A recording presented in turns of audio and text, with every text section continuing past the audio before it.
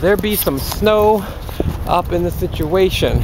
Welcome to the Cape Codder here in Hyannis, Massachusetts, where we manufacture snow.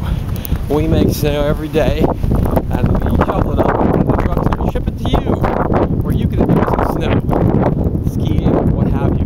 Make some snow angels if you need to. Hi, I'm right here. You're fine, you can go around me, right?